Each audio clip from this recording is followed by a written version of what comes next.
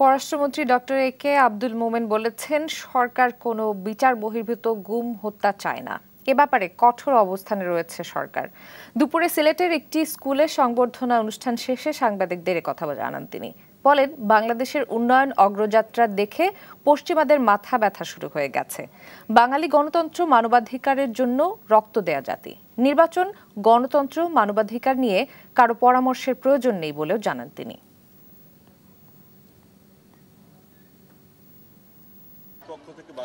সেইটা it is not important it is important যে আপনাদের এই প্রচার মাধ্যম ওদের কাছে যাবেন কেন?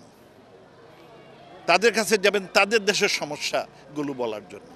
তাদের মলে গেলে লোক মরে ফেলে স্কুলে গেলে লোক মরে মরে ফেলে।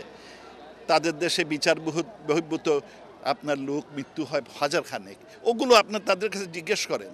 দিস ইজ দেয়ার প্রবলেম আমার এখানে তো অমন হয় না। কালে একটা হলে আপনারা এটা নিয়ে অনেক বলেন।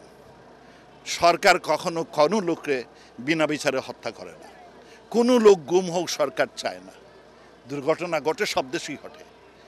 সেই জন্য সরকার দায়ী না। তবে উই আর ভেরি সিরিয়াস যাতে এই ধরনের কোনো দুর্ঘটনা হয়। এবং যারা দুর্ঘটনা করে, তার তাদের যথোপযুক্ত শাস্তির জন্য শেখ হাসিনার সরকার এক পায়ে দাঁড়িয়ে।